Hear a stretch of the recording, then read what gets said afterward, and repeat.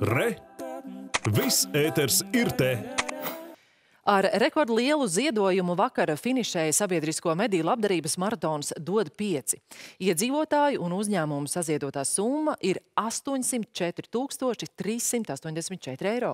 Un pateicoties līdz šim lielākajam ziedojumam maratona vēsturē, būs iespējams palīdzēt visiem kara bērniem, kas vērsīsies organizācijā Ziedot LV.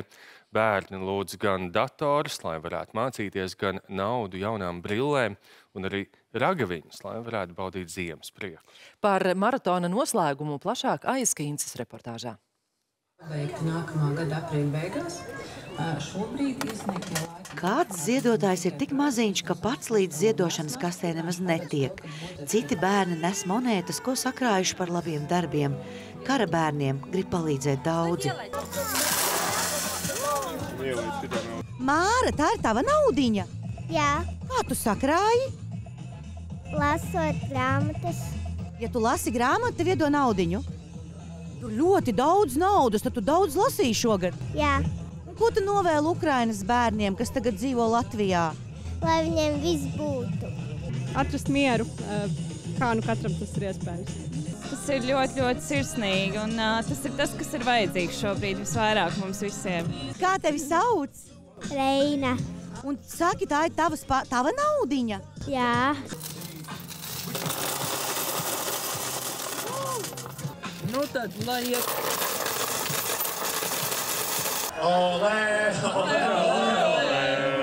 DJs Toms Grēviņš finišē noskrienot savu septīto maratonu nedēļas laikā. Šādi skrienot viņam izdevies ziedojumos piesaistīt vairāk nekā 105 tūkstošus eiro. Tā kā cilvēks, kurš ir normāli pastrādājis.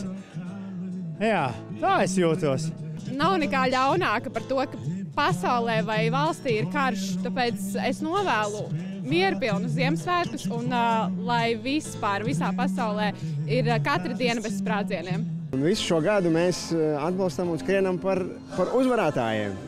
Viņi vēl ir mazi, bet viņi būs lieli. Mēs esam vēstures pareizajā pusē. Mirklis, kad stikla studija tiek atslēgta un trīs dīdžeji iznāk laukā, lai paziņotu saziedoto naudas summu, vienmēr ir maratona kulminācija.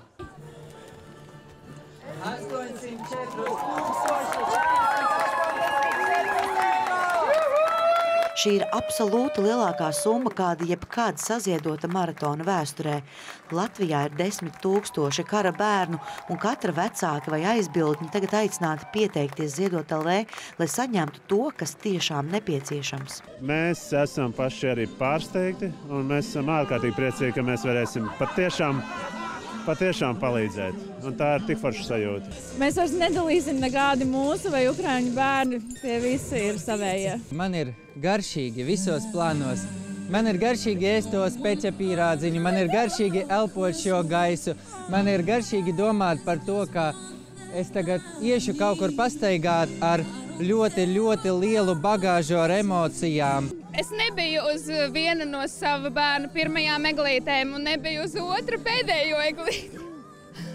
Bet, uh, bet tas bija tā vērts. Un cik daudz Emocionālā bērniem māte. sagādāja Jā, jā. Jā. to es sev atgādinu. Un šitie ir divi man beiglavie draugi. Arī Latvijā patvērumu radušie ukrāņi ir bezgalīgi pateicīgi par šo maratonu. Tas ir neticami. Šobrīd ir vēla vakara stunda, desmit vakarā, un te Latvijas tauta godina ukrāņu bērnus un neiet mājās pie saviem bērniem, bet ir šeit un gaida, cik daudz naudas tiks saziedots. Mēs esam jums ļoti pateicīgi. Jūs nevarat iedomāties, cik tā ir liela mīlestība. Mēs esam vienkārši aizgrābti. Mēs jūs mīlam, jūs esat mūsu sirdīs. Paldies! Paldies! Šobrīd ir saņemti palīdzības pieteikumu simti, un ar katru pieteicēju vēl ir jāsazinās, lai precizētu bērna vajadzības. Tāpēc ziedot LV darbiniekiem un vietējiem koordinatoriem novados šīs maratons nevis noslēdzas, bet turpinās. Ai Kīncigors stāsts Latvijas televīzija.